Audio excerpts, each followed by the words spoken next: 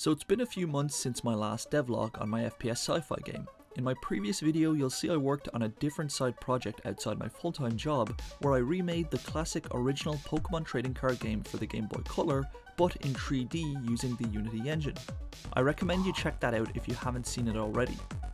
That project took a lot out of me guys and with things getting quite busy in work in May and June I didn't have as much time as I would have liked to continue work on my FPS project. That said, I did manage to make some good progress over the last two months with all things considered. Before we begin guys, YouTube tells me like a lot of you who watch my content aren't actually subscribed to the channel, so if you do enjoy the videos, I'd greatly appreciate it if you left a like and subscribed with notifications on so you can see when my next video comes out. Also, if you have any comments or feedback for me, I'd love to hear from you in the comment section. Since the last video, I added a simple save system using XML for saving and loading player data, such as position, health, experience, as well as level data such as the current scene that we're in. In the future we will be expanding this out to include different things like abilities, but as a foundation I find that it works quite well. I've also since added some simple post-processing effects which has introduced some liveliness to the game which I felt was much needed. I still feel that more colour is needed and will be revisiting this in the future.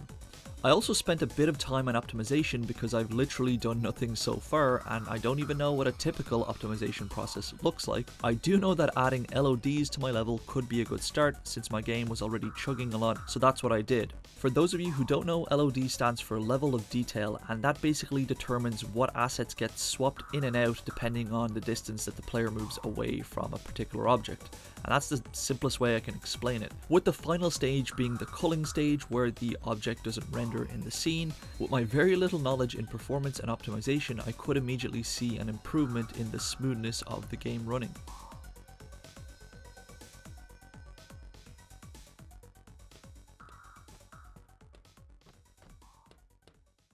And I'm well aware I still have a lot of work to do with improving the performance and optimization because the game could be a lot lot more smooth and I still have a lot more LODs to add, levels to arrange and as well as raw code that I just need to improve so that the game runs a lot more fluidly.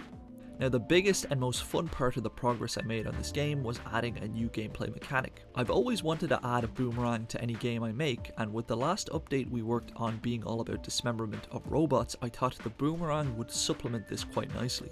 Some of my favourite boomerang mechanics that I have fond memories of is from the forgotten and underrated Dark Sector, as well as the Gale Boomerang from Legend of Zelda Twilight Princess. I remember how fun it was just throwing the glaive in Dark Sector and catching it, let alone all the gameplay mechanics Digital Extremes added with dismemberment and puzzle solving. Similarly, the Gale Boomerang added elemental gameplay mechanics with the ability to control gusts of wind to solve puzzles for example. I used Blender to make the boomerang after thinking about and trying different designs, and I used reference images from different websites like Artstation station to stimulate my mind with different ideas. Here are some of the iterations I went through before I got to the final look.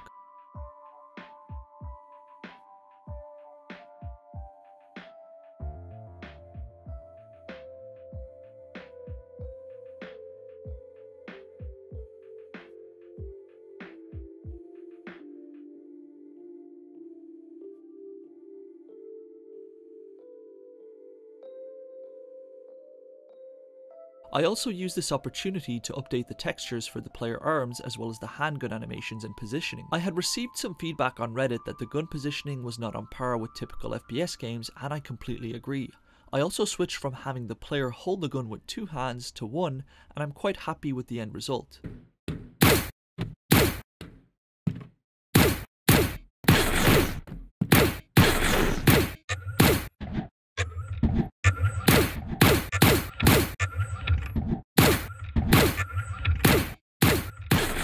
I also added animations for the boomerang throw, idle state, locomotion, and catch. Additionally, I added an extra switch animation when the player switches between the gun and the boomerang to add some style and uniqueness to the weapon. Once the boomerang and updated character were ready, I imported everything into Unity. Now all I had to do was delete the old player character and set everything up again for a new player controller. Now at first this did feel a bit daunting, but apart from a few changes I had to make to the weapon order and structure, it actually didn't take too long to set everything up again simply copying and pasting the current scripts onto the player character. I then added all the animations and parameters that I needed for the boomerang. Moving forward, I have a nice structure for adding new weapons to the game where I can simply use game object set active and set the weapon object to true or false via the weapon switch script. Each weapon then has a separate weapon script which uses enums effectively to define the weapon and how it will behave. That said, the boomerang needed to operate a bit differently to a typical handgun or assault rifle. For example, it didn't have a fire rate or reload ability, so I thought it made sense that we use the weapon script as a starting point to identify the weapon, and then pass off the core logic of the boomerang to a new script. That was the first step in getting the boomerang behavior set up. From the outset, I knew how I wanted the boomerang to behave. I wanted the ability to throw the boomerang using something like rigidbody.addForce, and then have a curved return of the boomerang like you would expect. I wasn't quite sure how to exactly achieve that effect however. Thankfully I came across two videos that really helped me achieve my goal. The first person I want to shout out is Mix and Jam. I came across a video where they recreated Kratos' axe throw using rigidbody.addForce to throw the axe, and something called a Bezier curve which basically takes 3 points and T for time to move an object from a starting point to an end point with effectively an anchor point called a curve point that causes the bend in the return of the object. That's the best I can do in explaining the process because really I haven't a clue what I'm talking about. That brings me to my next shoutout. If you want to learn more on the Bezier curve, check out Omar's video where he goes through the full process and equation for actually calculating the movement using Bezier's quadratic equation. He also has a link to the article where you can read up and learn more about it. So in a nutshell, I set up the boomerang to work as follows. We have three core methods in our boomerang script. The boomerang throw method is called via an animation event which I added at the point in our throw animation where the boomerang is being released by the player's hand. This will do a few things. It sets the rigid body is kinematic on the boomerang to false so it can be affected by the physics engine outside of the code. It adds force using force mode.impulse which basically adds an impulse amount of force on the object. It unparents the boomerang from the hand and adds some rotation to the boomerang so it looks more realistic. So we were finally halfway through our journey with throwing the boomerang.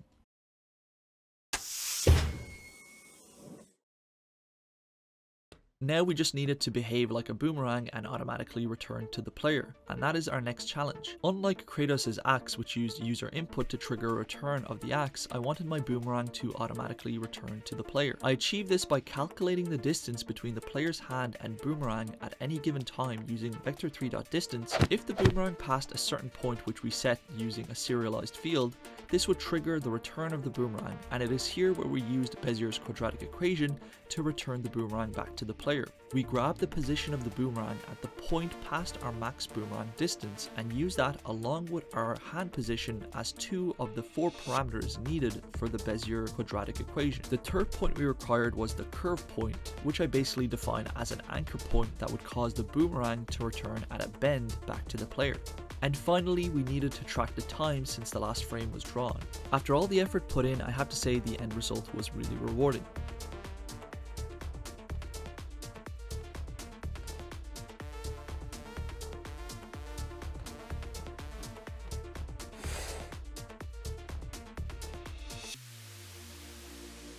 Now although the boomerang looked like a lot of fun throwing it and catching it, and it was, I wanted it to be able to interact with the environment. So I set up a separate collision script which basically triggered some events depending on the object hit. First, if the boomerang hit a robot enemy in one of the limbs, I had it pass the collision to our dismemberment script and dismember the game object attached to the collider that we hit. If you want to see how that works, you can check it out in my last devlog video.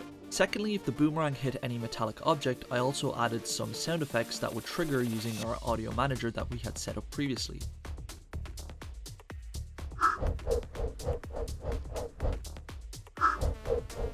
Now I had to do some tweaking around with the boomerang script because currently the boomerang would return only when we passed a certain point. I added a boolean to trigger the boomerang to return if we hit an object. However, I did add some delay to the return using IEnumerators so that we get some physics behavior before the boomerang returns and this helps us hit multiple objects and this was the end result. I'm still not quite happy with how the boomerang behaves after we hit an object. I may have a separate return method instead of using the Bezier curve, as it does give me a bit of delayed return when we hit an object, but something to work on for future videos. Finally, the last step was adding some visual effects to the boomerang to make it more, well, visually appealing. I had a lot of fun using visual effects graph in my Pokemon Remake project previously, so I repeated that for this game. With that said, I had never made a sort of boomerang swoosh effect, if that's the correct terminology for it. Thankfully, I've been following a YouTuber called Gabriel who had a great tutorial for a great sword VFX. I followed this tutorial because it more or less had the style I was looking for, although I did have to make a few tweaks for the boomerang. If you're looking to learn how to make visual effects for your games, I highly recommend checking him out. He has some great videos and I've done some of his courses in the past and they were definitely helpful. Next, I set up the VFX by adding it as a child to the boomerang and simply setting it on and off when the boomerang is thrown through my boomerang throw and catch functions. This was the end result.